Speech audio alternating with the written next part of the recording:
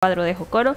Por cierto, Mauricio Espinosa, me tenían haciendo planas. Sí, aquí me ponen a hacer planas en los ex del fútbol. Y dice, ayer Alianza, el líder se hubiera metido todas las que tú hubiera sido aún más abultado. Pero ahí vamos, líderes invictos, dice Mauricio. La victoria de Alianza de 5 por 2 con doblete de Rodolfo Zelaya al 4 y al 64, Mancía al 55, Alexis Monterrenderos al 85, Ezequiel Rivas al 90 más 5 al 85, el, el gol eh, de Montes.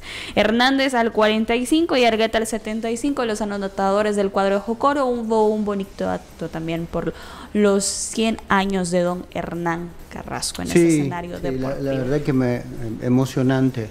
Eh, los homenajes tienen que ser en vida siempre. Ah, eh, don Hernán ha hecho una grandísima historia aquí. Eh, tanto que él fue uno de los fundadores de la escuela que hoy es la escuela de entrenadores y que aparte de, bueno, de haber aportado muchas generaciones. Fue mi primer entrenador en el país, él es el mm. culpable de que yo esté acá, no sé si agradecérselo no. Pero no, don Hernán, eh, un maestro en todos los sentidos, en la cuestión de la formación del futbolista, en la cuestión del trato, porque es una persona, eh, hasta se puede decir, extremadamente amable y respetuoso y la verdad que da mucha emoción que, bueno, que siga tan lúcido como siempre y que sobre todo el, equipo, eh, un equipo como Alianza y en el Cuscatlán, eh, le den este, este homenaje como el que le hicieron anoche. ¿El resultado de Alianza? ¿Esperábamos ese resultado tan abultado? Sí, no sé si esperábamos un resultado tan abultado, porque creo que tampoco esperábamos un Jocoro tan dinámico, ¿no? Eh, por un momento parecía una pelea de boxeo, era ir y venir, golpe por golpe, ¿no?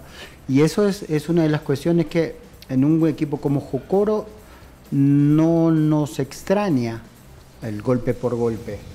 Pero en Alianza sí, Alianza creo que perdió, bueno, eh, después entró un rato Marvin y eso es una buena noticia, pero es un equipo que elabora mucho menos, ¿no? Que, que bueno, con la velocidad de Rivas, con la velocidad de, del colombiano, de lo, bueno, de los colombianos adelante, eh, por los costados es un equipo que, que, sí, ¿no? que juega mucho de. Hay mucho pelo, no pelotado, sino que hay mucho juego directo, ¿no? Vos tenés un, tipo como Alex Larín que golpea muy bien la pelota de media y larga distancia y siempre va a dar, eh, siempre puede sorprender con la velocidad de, tus extremos. Entonces, en un momento se dio un partido interesante de golpe por golpe. Jugado no fue tan bien jugado, creo pero fue, era atractivo porque había situaciones cercanas en las dos áreas. Eh, creo que Jocoro le llegó mucho más a Alianza de lo que esperábamos, ¿no? porque, porque todavía con el partido 1 a 0 o, 2 a 0 eh, veíamos que, que, Jocoro había tenido dos o tres aproximaciones bastante peculiares. Entonces, eh, creo que Alianza perdió un poco de solidez pero no ha perdido ni la puntería ni la jerarquía de sus jugadores. Eh, ahí teníamos parte de las imágenes, usted tiene un dispositivo móvil, puede observar de la celebración de Don Hernán. Eh, por cierto, ya Marvin Monterrosa tuvo minutos luego de la lesión y además de eso hubo debutante en el cuadro de, de, Jocoro. El otro bombardero atrás, Mario Figueroa, también eh, otro tipazo. estuvieron presentes. Sí, tengo este mucho tiempo, sí, sí. Este Mario Figueroa, otro jugador espectacular, un delantero de los que hoy vemos muy poco, ¿no? Hablábamos recién de Tolosa y un saludo a Mario si anda por ahí dando vueltas. Eh, hablábamos del debutante de Jocoro y era el señor eh, Christopher, que por cierto, luego de la lesión de Héctor Ramírez Carvajal en ese partido, tuvo que ver los minutos en esta jornada número 3. Perdón que, hoy le estoy interrumpiendo demasiado y lo siento, pero, pero cuando no está Lisandro tenemos que hablar. Ah. Tenemos libertad para hablar. Tengo otra tesis al respecto. Como dije, no ayer estaba siguiendo los dos partidos casi en simultáneo. Y, cuando vi que entró un jovencito ¿no? en, Jocoro, eh, me quedé a verlo, ¿no? Me quedé a ver a ver cómo. Y en esa situación del golpe por golpe, creo que eh, Jocoro atrás no quedaba tan sólido. Y obviamente, si vos pones un niño que debuta en primera, un niño entre comillas, ¿no? Que debuta en primera, que debuta en el Cuscatlán y que debuta contra un equipo como Alianza, con el marco que había ayer, eh, obviamente no iba, no iba a entrar eh, con la tranquilidad suficiente, sobre todo porque no entró de entrada, sino que era un emergente. Entonces, eh, sí falló en, algunas situaciones de, salida, sobre todo en las pelotas cruzadas, pero es, un punto que nosotros le pedimos al que hoy, hoy por hoy es el mejor arquero de la actualidad, que es Mario González, también decimos que es un déficit en su, en su rendimiento, ¿no? Y lo vimos el otro día contra Filadelfia. Entonces, cuando uno le toca jugar a ritmos a lo que no está acostumbrado, porque el chico es, el portero de la reserva, ¿no? hoy está de suplente, pero él es el portero de la reserva. Entonces, eh, la pelota tirada por Alex Larín va a una velocidad o a un, eh, efecto diferente al que lo tira cualquier eh, jugador de reserva.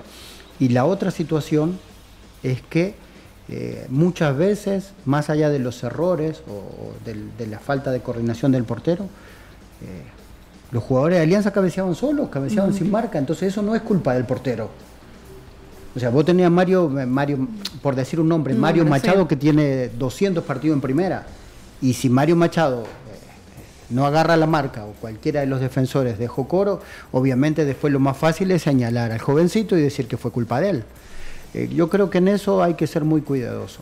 El chico, si nos analizamos en situación técnica, obviamente tuvo deficiencias técnicas pero después la forma de marcar de Jocoro en la pelota parada sí fue muy deficiente también. Profe. Tres aspectos de ese partido. Lo primero, en cuanto al arbitraje de César Eduardo Nolasco, yo lo destacaría porque es un árbitro que ha venido en crecimiento.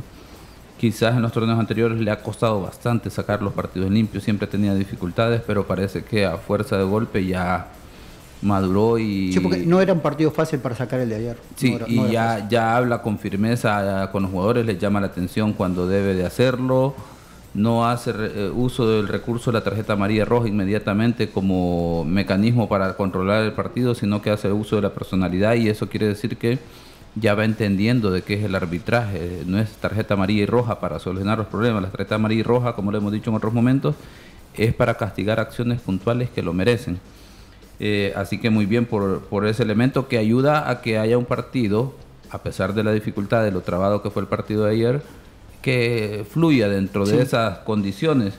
Y dividiría el partido en dos momentos. El primero 45 minutos, no solo por ser primero 45 y los siguientes, sino porque en los primeros 45 un partido que termina 1-1 y refleja quizás eh, ese equilibrio que hay entre los dos equipos. Un Jocoro que intentó jugar, intentó ponérsele de tú a tú a la alianza y lo hizo en los primeros 45 minutos al punto que en todas las plataformas que uno puede revisar el tema de la posesión de balón, Jocoro estuvo alrededor del 5%, 7% arriba de, de alianza en ese sentido.